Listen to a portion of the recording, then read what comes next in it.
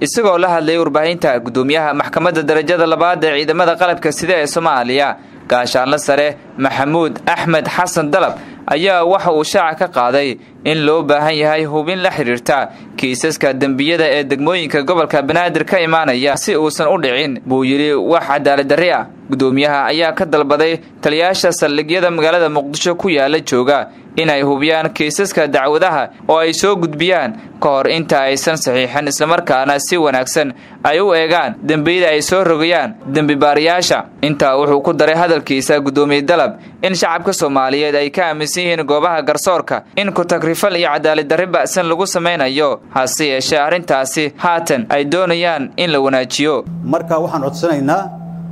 dembibaarayaasha in garaadkooda kor loo qaado in waxbarashadooda kor loo qaado in laga hubiyo weliba taliyayaasha saldhigyada gaar ahaan badanaaba xil iskama saaraan nin bay kees ku dhiibaan.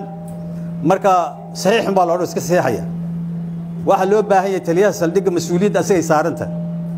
Waxaa la rabaa inuu akhriyo galka inuu markhaatiyaasha eego inuu markhaatiyaasha si fiican u dhuuxo hataa waxaa loo baahan inu yihahdo hor keena markhaatiyaasha hal hal u dhegaysto.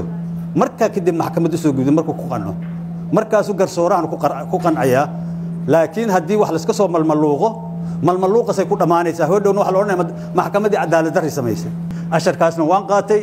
Waxaana ka faa'iidaysan doonaa raggii hore maxkamadda u joogay oo shuuto ka mid yahay. Marka waxaan idin leeyahay guulaysta waxaan mar labaad u mahad celinayaa taliska asluubta soomaaliyeed hadalkan ayuu ka sheegay gudoomiyaha maxkamadda darajada labaad ee ciidamada qalabka sida ee soomaaliya. Gaashaanle sare maxamuud axmed xasan dalab xilli munaasabad soo dhoweyna lagu qabtay maanta magaalada muqdisho